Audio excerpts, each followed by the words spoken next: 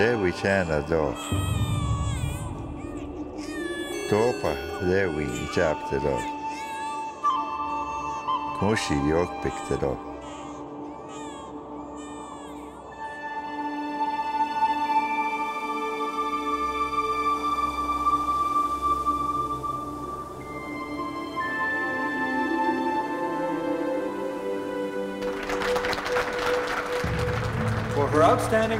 community service, for her dedication to humanitarian work and to the healing of others, the Manitoba Medical Association is proud to bestow this honor on Gladys Cook. This is mine. When I hear and all these things that I've done, I begin to think about my age and how strong I am and still going strong. I see successes, and those are my goals, those are my aims, those are things that I believe in. I see the happiness in the people, I see the changes in their faces. I see them walk straighter like I had to when I was going through my healing. And I'm not any taller, but I sometimes right now, right, I feel like 10 feet tall. I have found a place in the world for myself. I'm very proud of myself. I don't say that too often, but I am proud. And I will honor this. I have a spot in my house. I'll probably take it to bed with me tonight. I thank you for listening.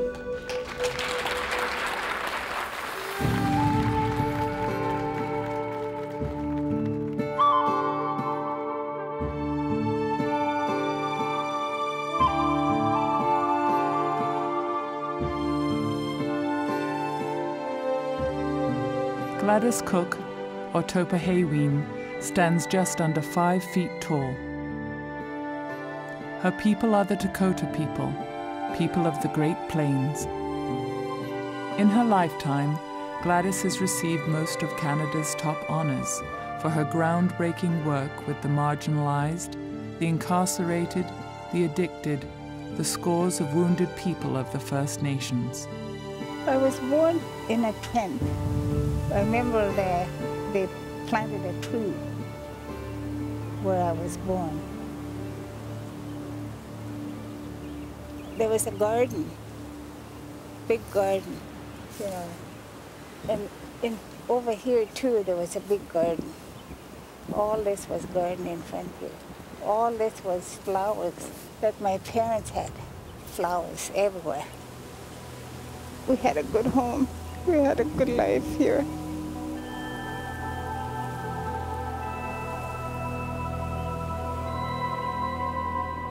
The years Gladys spent as a child with her family were short.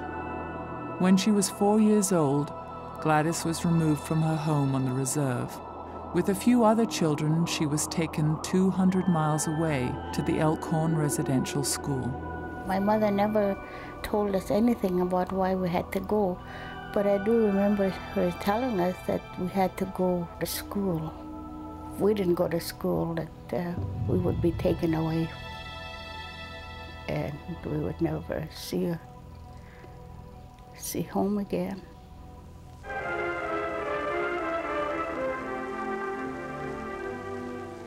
Some mornings are highlighted by the coming of new children who must be settled in and instructed in the rules and regulations of the school. In the 1800s, the Government of Canada instituted a policy of assimilation for the people of the First Nations. For many families, this meant the forcible removal of children from their homes. They were placed in church run residential schools. With the help of senior girls training as supervisors, I see that the little ones wash and dress for breakfast. They are taught to enjoy cleanliness, and we try to divide our attentions equally among them. When I went to residential school, I had braids. Had braids and I had my grandmother put a beaded necklace on me, white beads. She knew I was going somewhere. She knew I was going away from home. And uh, when I got to school, they cut my braids off and they cut my beads off. and my beads went rolling on the floor. And I said, My grandma gave me those, and I was picking up the beads. And uh, she told me to go, and uh, the staff told me to go and put them in, in the garbage, in the wastebasket. And I said, No, my grandma. And they, so she hit my hand, and, and I let them go. But I kept one. I stuck that bead in my mouth, and I had for, for a long, long time. And I used to wrap it in my nightgown and put it under my pillow. From age 4 to age 16, Gladys lived at Elkhorn Residential School. She spent only a few short weeks in the summer with her family. Seems the bad things stand out, but the good things is being with my sisters and my mother and and family life we had. Those were the good times, but the bad times stood out. When children run away from school, they strap them right in front of the whole dining room, like where we all have our dinner. Those were the scary parts. And then girls were beaten in a basement until they were unconscious. Those are the sad things that happened that I remember. They're terrible. I ran away from school too. but uh, I got strapped uh, 20 times. and there were six of us girls that ran away. And we all made it home to Griswold. and we took us two days. We were just tired of uh, the residential school. We're just tired of the whole, and we miss our families.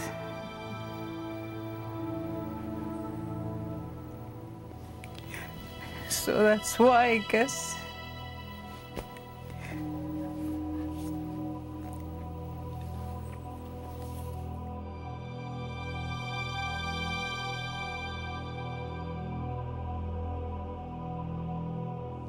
When Gladys was nine years old, she had an experience at Elkhorn that she would not speak of for over 40 years.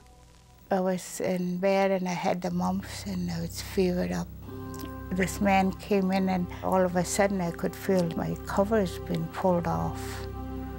And I looked up and his eyes, his eyes were just so big and blue. And and I remember he grabbed me, and I remember crying and yelling, and and, uh, and I remember him. Uh, he slapped me, and then uh, and then his hand came down and uh, hit me right on the moment. And that's when my head just started to had excruciating pain in my head, and uh, and my I had my my ear was just hurting. My, and I remember uh, things was happening down there, but I was just had my pain was so bad in my head. And I looked at my hands, I had blood on my hands and on my shoulder, my nightgown. He just shook me and he said, don't tell anybody anything or you'll get it again. And I remember my head was bobbing because it was so painful when I, uh, and then I was hurting so bad I wanted to go down to the dispensary. And I got up to walk, and then I saw blood coming down my legs, and I just fell down. I thought, what's happening to me? Blood all over. So I fell, I walked away, and I sat down. I, uh, I don't know how long I sat there. I'm probably passed out for a while. One of the girls found me, ran for the nurse. They took me to the doctor's house, to the hospital. When I came back to the school, the girls asked me how was my hand. I guess the nurse told them that I had hurt my hand because there was blood on my hand. And, and so I looked at the girl and I said, my hand is okay. And I felt I felt I wasn't I was scared, but I was glad when she asked me about my hand because uh, nobody else said anything about what happened. I'm sure the nurse knew something. I know she must have known, but they just kept it hush, quiet. But then it happened again. It was always that constant fear, 13 and 14, again and again. I used to be a bouncy little girl. I used to chase butterflies, do whatever. I was always on the move. And uh, my mother noticed something different about me. And that I wasn't that happy little girl, that lively little girl that used to be. Deeply traumatized by the incidents of sexual abuse, Gladys tried hard to focus on her schoolwork, determined to hold on to the values that her family had instilled in her. I tried hard to be a good student. I worked, I did my work well. We had a lot of activities, Girl Guides and uh, sports activities. I did a lot of running. Uh, we had what you call uh, field days at the end of the school term, and, and of course we had competition against the schools that were around surrounding area. So I always was, uh, if not the first or second, doing these things too, because my parents said so. And it was also uh, uh, gave me something to strive for. Hard work and strong religious beliefs had been taught to Gladys from birth, but she now found herself struggling with her faith and her ties to the Anglican Church. I had to uh, set aside some of the uh, words that I heard in school, like Christian. I had my own set idea about what a Christian was after I left school this is where I thought, well, I didn't want their God. I know I had that choice after I left school that you can have your God. It's not the God that I have. My parents gave me a better one, which was the Great Spirit. In 1945, when she turned 16, Gladys was asked to leave Elkhorn Residential School at 16 years old when you're asked to leave. And this whole big wide world out there, where do you go? Now, I'm, how am I going to survive? You know, because I knew uh, leaving home, I didn't want to live on a reserve because of the setup. I think at a very young age, I didn't want anybody to own me. After I left the residential school, I said, I'm going to get off the reserve and I'm going to go. Gladys dreamed of a life off the reserve working as a nurse. She applied to nursing school, but first had to report for testing to determine her level of education. I was so happy because I was uh, thinking I was going to, everything would be all right. So uh, when I got there and took the test, they gave me a grade eight test, and I knew nothing, nothing. Gave me a grade seven, I knew nothing there either. And then when I, uh, and he skipped grade six and gave me a grade five. In that test, I recognized two, three words. So uh, gave me a grade four paper test. And I looked at it, I didn't recognize anything, but I, again, I recognized some words. I didn't write anything, but I sat there thinking, oh, this is grade four. And the man came around, looked at my papers. I'll never forget that look he had. And he just said, I'm sorry. And then as he was walking away, I started getting angry. And I thought, I have a grade eight. Doesn't even mean anything. When Gladys attended residential school, government policy dictated that all Native children receive a half a day of schooling and a half a day of vocational training. For Gladys, and many like her, this meant that her grade 8 diploma fell far short of the educational standards of the white schools. Deeply disappointed, Gladys was still determined to leave the reserve at Sioux Valley. First, I had to go and see the Indian agent to tell him that we were, that I was leaving. And I don't know what he, he was yelling and screaming at my mother. And uh, I don't know what he was saying to her because at that age I really didn't understand. And uh, so, uh, and my mother just didn't say too much about it either. But she just said, uh, You're going, and uh, nothing here for you, you're gonna go. With her mother's blessing, Gladys left the reserve. She eventually found a job on the housekeeping staff at a hospital in Yankton, South Dakota. She was mysteriously drawn to the area where her Dakota people had come from. I knew there were uh, there were Dakota people there, but I didn't connect them with anything to do with uh, to Canada or anything else. Like most of the Dakota in Canada, Gladys had not at that time been taught the recent history of her people. Only 30 years before her birth, Gladys's grandparents had narrowly escaped from Minnesota across the border into Manitoba. Along with the 1,000 or so survivors of a great nation, they sought the protection of the Canadian government. It was a terrible journey. Like many have died, many have, many many children were were uh, were lost, and uh, a lot of old people have passed on during the course of that journey because already the, the starvation has started. For the most part, the federal government actually ignored them, and so for the Dakota to survive in Canada, they had to do it on their own. They, they didn't get treaty payments, and and um, as again is mentioned most often, the federal government just hoped that they would go away. So if they felt that they didn't do anything for them, then they'd go back. For thousands of years before the Europeans came, the Dakota people thrived on the unforgiving plains that stretched from the big woods of Minnesota to the Rocky Mountains.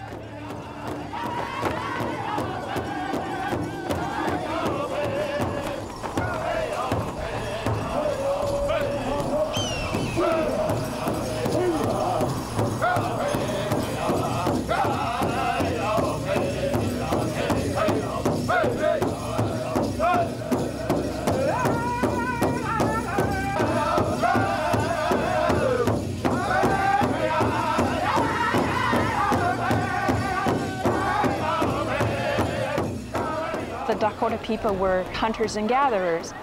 They had signed a treaty in 1837 which gave up their triangle of land between the St. Croix and the Mississippi rivers. And they were getting annuities. They were getting payments based on this treaty. They had been uh, basically encouraged, as most tribes were, to become agriculturalists and grow crops. But then, of course, what inevitably happened was the crops were eaten by grasshoppers or the crops failed because of drought and uh, a famine resulted. The government hadn't, you know, kept up on their promises to, uh, to get their annuities and, uh, uh and the food and, and the thing that really I think started the rebellion from what I, I've been told was people were hungry. they were desperate. They were desperate to get what they were told they were going to get. And there was a certain um, ticket that they would hand out, and they were able to get uh, food, commodities or something with the tickets. Um, and they would say, get in line and to get the tickets. And if you had a white man's haircut, you got a ticket. And if you didn't, you didn't get one. So there was a huge push for them to um, give up their Dakota ways. And, you know, Dakota people are very proud. It was the younger men who were the ones who got the most angry and they, they said, look, you know, we've given and given and given and we're fed up. The three Dakota men went to this farm. They were so hungry that they went to this chicken house. The farmer's wife heard that and she came running wondering what was going on and she saw these Indian people coming out of the hen house. So she ran up to them and started hitting them with a, with a broom pretty hard, so you turn around and they killed her. Then it just, you know, escalated from that point. The tensions between the Dakota people and the settlers escalated to a full-blown conflict by September of 1862. On September the 23rd, the Battle of Wood Lake sealed the fate of the Dakota. Thousands were killed and 1,250 were imprisoned. A military commission was appointed to try the Dakota prisoners. The trials lasted from, you know, five to 10 minutes. And 300 men were sentenced to death by that military tribunal. And then uh, eventually uh, Abraham Lincoln had some people go over it. And anyway, they numbered it down to, it ended up hanging 38 men, 38 of our warriors. It was the 26th day of December, 1862. They had had to postpone the hanging because they couldn't find enough rope. And many of the, of the uh, ones that did the so-called atrocities were already headed towards Canada and out into the western plains. And so they just got a bunch of Indians to hang. and they didn't, they didn't care whether they were guilty or not. This is the largest mass execution in, in American history. 38 Dakota warriors hung simultaneously in the main square of Mankato, Minnesota. I bet you there's not one in 10,000 or maybe more than that, 100,000 white people that even know about what happened here at Mankato. As they are being brought across the courtyard in the fort to the gallows, uh, they're chanting as they walk.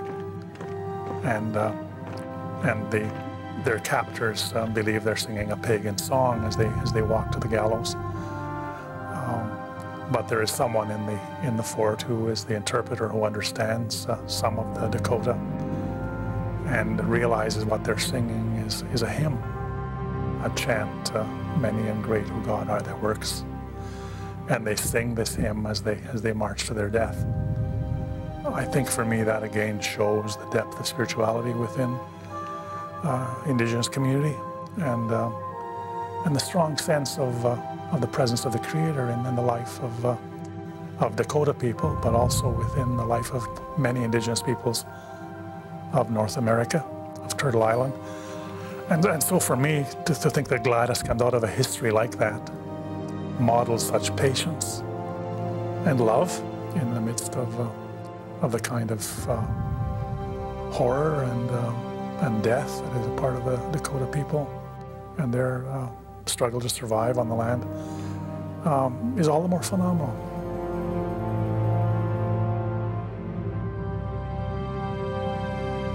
As a child and a young woman, Gladys knew little of the history of her people. With a price on their heads and a real concern about bounty hunters well into the 1900s, the Dakota who had made it to Canada seldom spoke of their heritage. For Gladys, her quest to find her own way had led her back to the roots of her people. At the hospital in Yankton, she worked hard and tried to unravel the rules of her new world. At home, we had money, cash. And I never, I didn't know that checks were money. I didn't know that. So I thought they were just giving me a notice to tell me how much, and I would be getting it. Anyway, I kept it. I kept three of them before I cashed. I said to my roommate, I said, look, I got another one. And I took the other ones out of my drawer and I showed them to her. And she was quite shocked because I had still had those. That afternoon, we went to the bank. She told me what to do. So I, I learned about checks and how to have a bank account and stuff like that, which I never learned at home or at school. And at the same time, I said, my mother wants some money. Can I send her some? And he said, oh, you have lots. You can send her whatever. So and he said, well, how much would you like to send her? And I said, oh, $50. And uh, the man said, oh, you got way more than that. He said, you can spare it. He said, he said 500, so I said, okay. World War II was coming to an end. A notice from the War Department was posted at Gladys's work. Medical personnel were urgently needed on the hospital ships. At the end of the Second World War, some people came and asked if anyone uh, would be interested in volunteering on a hospital ship that was going to be bringing uh, wounded soldiers back from Hawaii and Guam and that, uh, that part of the world back to San Diego. And uh, she said, yes, she would be interested. It was uh, quite exciting, and I had no idea what I was getting into. Oh, the trip over the ocean was, ah, you know, seasick and just turning green and purple, and I don't know, it was just so overwhelming. So she went um, back and forth to Hawaii uh, and San Diego and nursed these uh, wounded soldiers. And it wasn't a holiday by any means. It, you know, she was working with severely uh, wounded so American soldiers. and the smell, oh, smell of fle- uh, burnt flesh and things like that was just So we wore masks a lot at the time. So it was there that I uh, found what was uh, the sadness of war, you know, what it did to people and stuff like that. So a lot of Native people that were on that on that boat trip to back and forth. Gladys returned to Yankton and soon met a young Dakota veteran named Clifford John Cook. My husband, he didn't really propose, but he used to say, when we get married, and when we get married, this, and, you know, and all that. So, uh, uh, and then one day he said to me, um, well, here's some money. He said, go and buy your, go buy your wedding ring gave me $15. And I went down to this jewelry store and I was looking at all the rings. And so I uh, went home and I told him I, I bought the ring and I said, here's the change. And then he said, well, we got the ring now, we got to set the date. Gladys married Cliff on September the 29th, 1950. Within a few weeks, she would learn the truth about her new husband. I came home from work one day and here uh, he was lying on the floor. And I tried to wake him up, and you know, and and uh, wouldn't wake up. So I called the doctor, and uh, he checked him over, and then he looked at looked at me, and he said, "Well, cover him, cover him up, and he'll be fine in the morning." And I thought that was wasn't very nice, you know. I thought something wrong with him. I can't wake him up. And, you know, I kind of pleaded with him, but he still didn't. Uh, he just said he'll be fine. So I, sure enough, you know, next morning I could woke up and I could smell coffee going. And I thought, what the heck? I got up and here, here he was in the kitchen, uh, getting breakfast and making coffee. And I said to him, oh, you're fine, are you okay? And he said, I said, I was so worried about you, I was scared, and, and I said, I couldn't wake you up, so I called a doctor. And he said, you what? You know, and so I said, well, I was concerned. And he said, well, don't ever do that again. So, uh, yeah, and a few other choice words and stuff, so I just left it alone. So, but I soon, soon learned afterwards what, what the drinking was all about and, and uh, what it what the turmoil it caused. And yeah, there was violence and, you know, fat lips and black eyes and stuff. So, yeah, it wasn't very safe.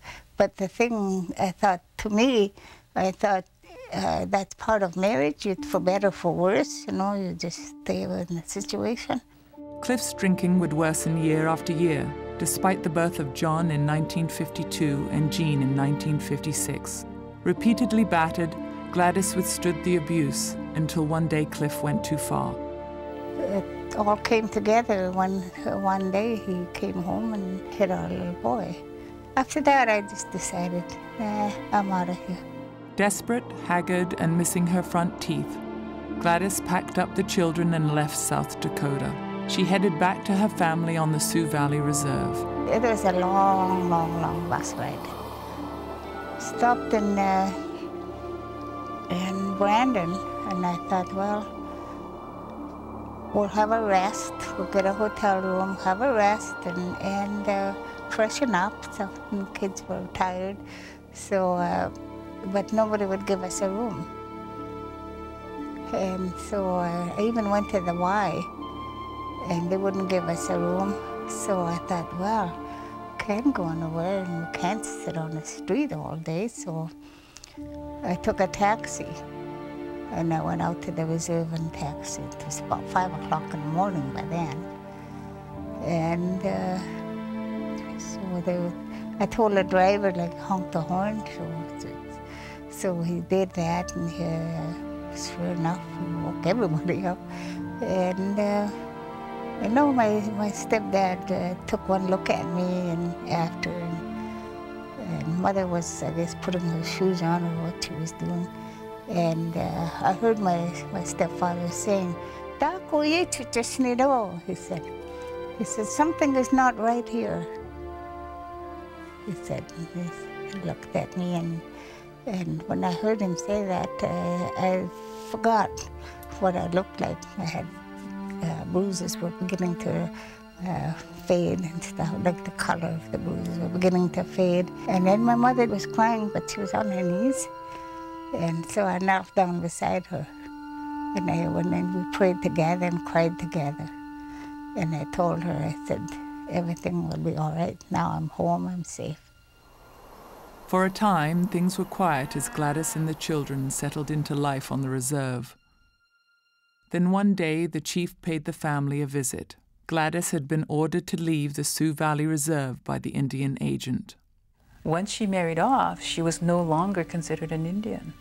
And so when, if that's the case, then you're not allowed to return to the reserve in any shape or form, including if she had died, she would not be able to have been um, buried on the reserve at that time.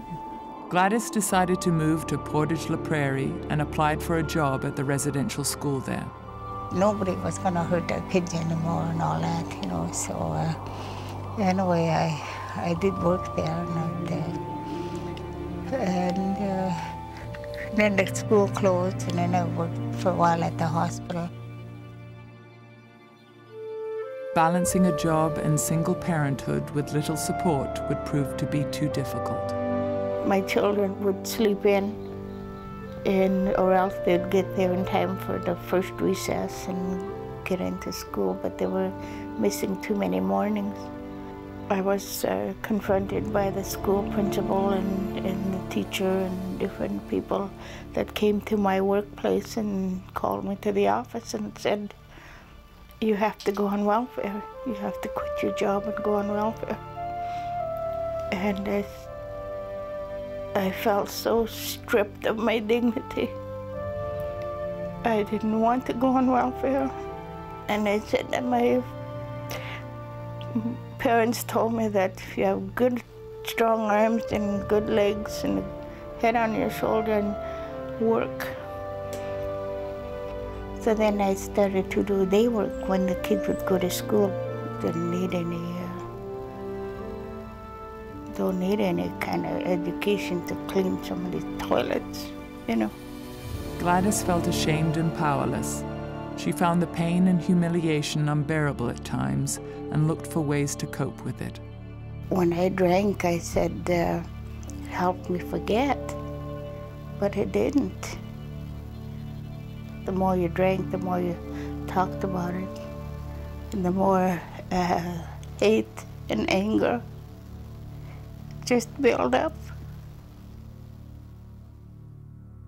Desperate for help, Gladys began to attend services at the Anglican church in town.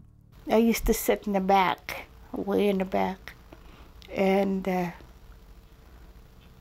when they last hymn, I'd leave before they finished. I'd leave the church.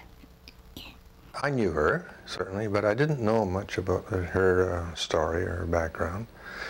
And um, then she told me some years later that when she attended church there, uh, she didn't think that she was worthy to sit at the front of the church. She would sit in the back row.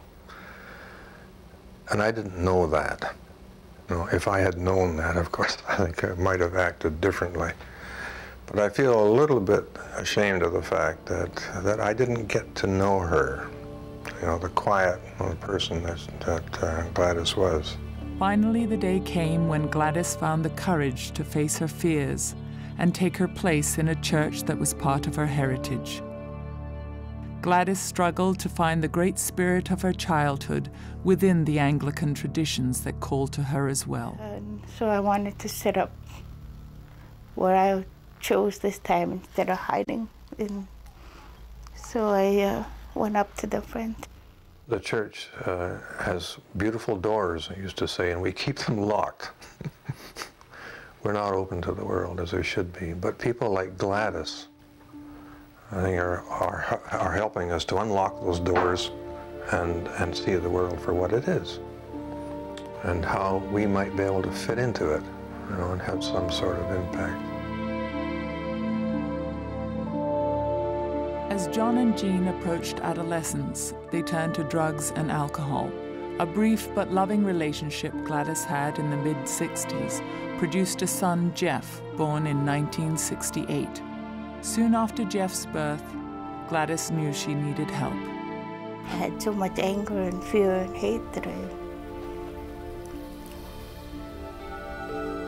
And it's a lot of years carrying that kind of hate, bitterness around.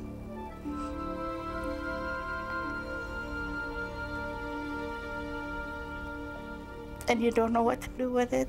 You don't know who to talk to.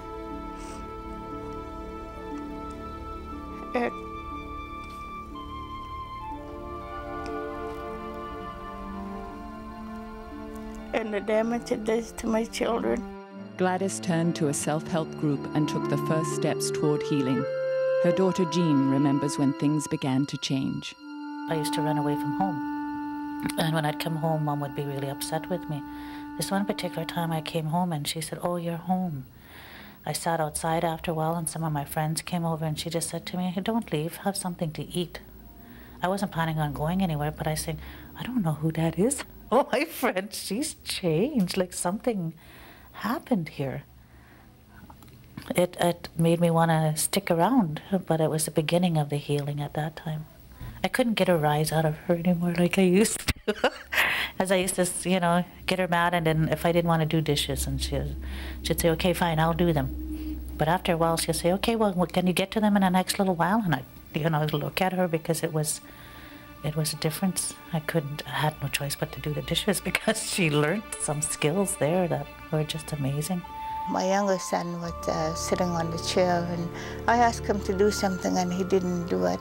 So I walked over towards him, and he poor little guy just balled up on the chair, and I was standing over him, and I was gonna hit him. And I looked at him, and I thought, that's what I used to do. I saw how frightened this child was. And so I just said, oh, and then I walked away. I walked away and uh, I looked back again to see if, and he was still sitting there. He said he knew, he thought I might come back again, and he was just sitting there waiting for me to come back and hit him. Isn't that awful? Oh, I felt so bad, so bad. My, so, uh, but I, so I just hugged him and I said, don't worry, Mom is not gonna do that anymore. Gladys kept her promise to her son. She embarked on a journey of healing that included support groups, counseling, and therapy. As she faced her own demons, the proud Dakota woman began to find the strength and courage that had always been inside of her. We grew up together, but I always kept my parents' side. You but I learned a lot from him, and I learned a lot about myself too, just watching him grow up. Others in her support groups began to gravitate toward her, and Gladys discovered in her own healing a gift for healing others. People just seem to come up to me and talk to me about their, their uh, you know, I guess they must have thought I was all together. Uh, maybe it was because I was a good listener. I didn't, didn't say too much about myself. She was offered a job as a counselor with the National Native Alcohol and Drug Abuse Project. Her training for the job involved going back to school. Going to workshops and going to, to all these, uh, and I also went to a, a course in a few of them, and I thought I would never, never make going to university, you know. But I did. I made it, and I got made papers and became a certified counselor, and yeah. Despite her success, Gladys knew that she had not yet faced the deepest traumas of her past. In 1988, she was invited to attend a training workshop in San Jose, California. The focus of the workshop was assisting the victims of sexual abuse. I was scared. And uh, when I was on the plane and I was on my way to San Jose, I said, okay, when I get there, I'm not going to talk about myself. I'm going to listen. I'm going to learn all I can. And I'm going to, so I can come and help people. Like I wasn't going to talk about myself.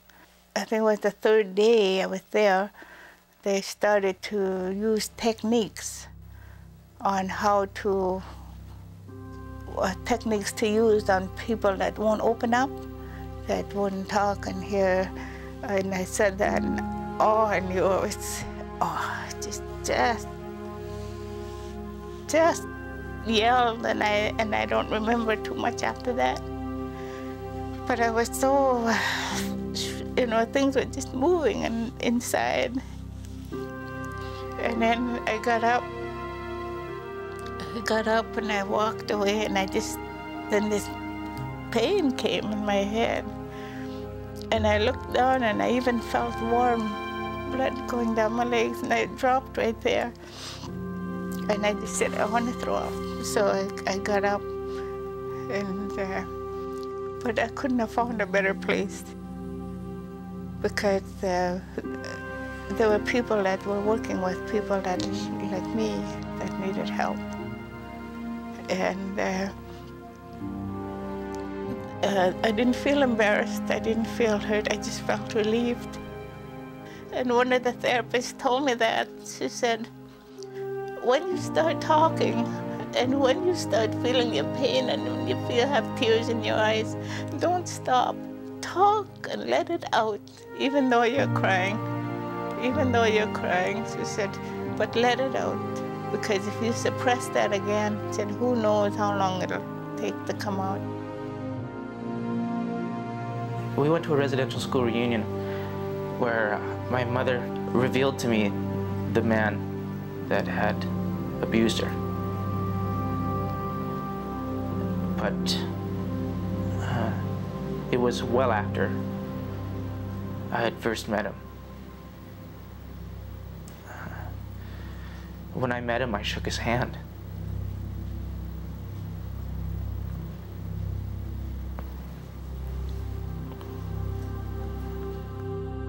I think uh, meeting this man and shaking hands with him, I think it's uh, the most powerful turning point in my life that I just seem to feel different. I was leaving with my sister, and we were walking towards the car. And he drove by with his family. And I wanted revenge.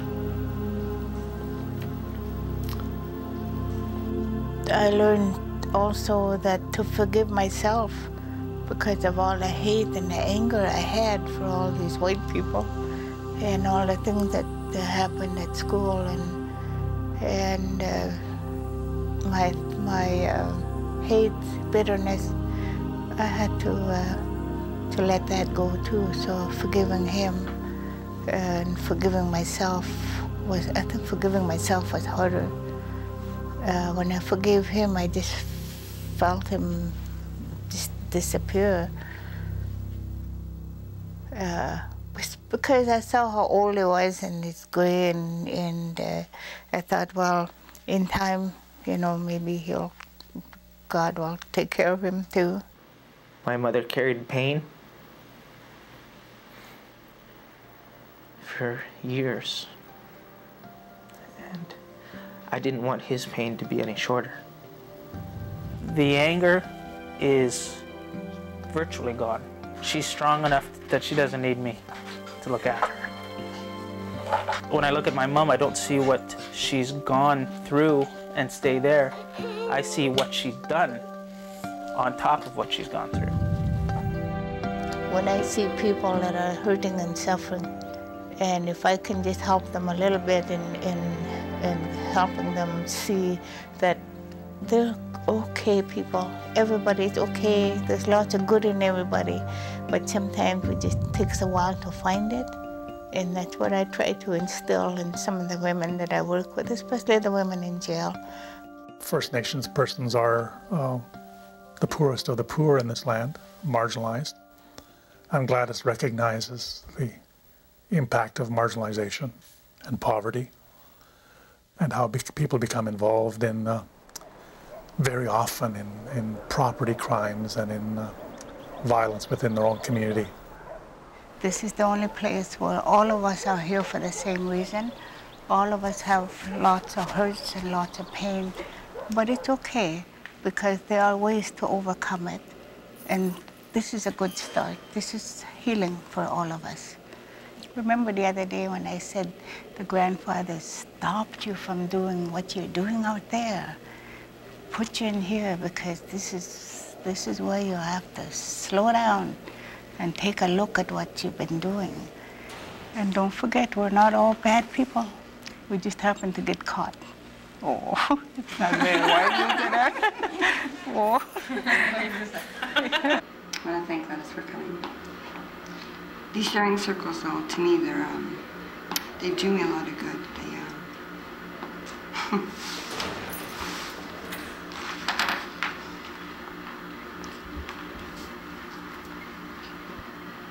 I hope that in April, when I get out, I can stay in touch with Gladys and, and all the support people I need in my life to allow me to uh, to recover from my uh, addictions and my uh, criminal activity. It's when you don't have people there for you. It's, it's when it hurts. And that's when you realize how alone you are. So I get high. The only time I wasn't getting high is when I was sleeping. And uh, sometimes I didn't even sleep for a couple days. It's just, it was crazy. It was pure madness. When I go to the jail, though, I always feel bad because when I come out of the jail, I always look back. I always look back at the jail and I think, some of them are mothers, they're grandmothers. What are they doing in there? They're missing out so much, so much with their children, the grandchildren. Could be me in there. Grandfather teach us to have the patience and teach us to learn to listen and teach us to respect each other every day. Mitakuye Oyasin, megwich. Amen. Can you pray for me?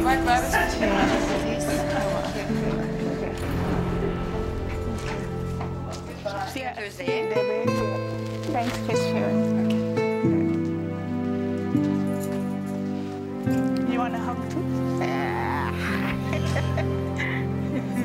developed herself to where she can meet the needs of people that most people ignore. A wounded woman's gift for helping others has turned into decades of groundbreaking healing work. Gladys has traveled all over the world, invited to share her wisdom and teaching. Say it together. Clean mind, strong body, and good spirit. Okay. Those are the things we ask for because some, and we uh, brush the smoke towards us. We're asking for blessings. We're preparing ourselves to pray and to ask for blessings for ourselves and our loved ones. My children would come home from school, they would be so angry because someone would call them a dirty Indian or, or something even worse than that. And, uh, and my daughter came home one day and she was quite angry. She was crying because she said, they did it again, you know. So I said, what happened? And she said, well, they called me an Indian. So I said, well, you are. You are. We're going to talk about this. So I got a blanket and we sat down on, on the blanket on the floor and we talked about it. I said, these are the things they're going to call you. So I named a few things that they're going to call us. So if you hear it, we know that's not the way we are, but these are the things that, are, that they call us. So you'll be prepared for them, you'll be ready for them. So we went through that, we smudged, and I said, This is something we have that nobody can take away from us. This is ours, it belongs to us. It's our heartbeat of our home life. She's a small little lady with a strong spirit. Somewhere in there, she was determined to um, to keep going and not let anything pull her down. And and when it did, I think the healing when it came, and she started to speak about the stuff that happened to her. I still, to this day, like I said, I don't know even know how she managed to do the things she did, but it, it talks about a strong, strong woman, um, brave woman. I, I think that's at the core of, of, her, of her being, is this uh, profound love for people. She has an authority that, that people um, simply recognize she has a wisdom that she carries in her person. What she wants to do and what she likes doing is helping people. That's it. You can um, just feel like you can go over and hug her and just feel that you can just tell her anything you want and she'll understand. Gladys has received many top honors and has become a revered elder among her people. I count my blessings and uh, and I count more than I deserve. It's overwhelming. For Gladys, perhaps no honor has meant as much as a tribute from her community at Sioux Valley.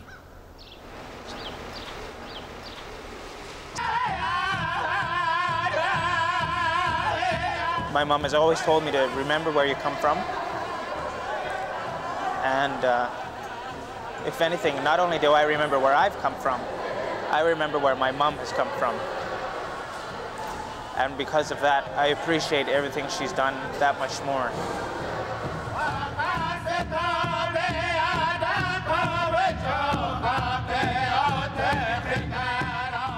I don't expect any of the words. I don't work towards them or do anything, but uh, that one was very, very special to me because it's my community.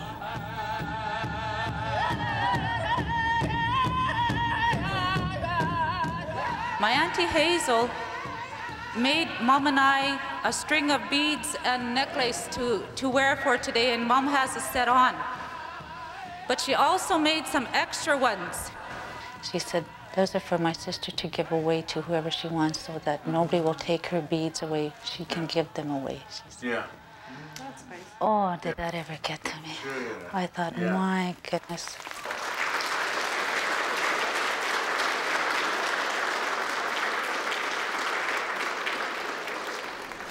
Because of her, I'm going to be a very strong woman. And I hope someday I can be like her. I hear people say to me, oh, I want to be just like you. But I say, I worked hard at it. Oh, I worked hard at it. I could have been somebody negative. I have so much to live for. My children, my grandchildren, my great-grandchildren. I've learned to love life. It's, it's amazing.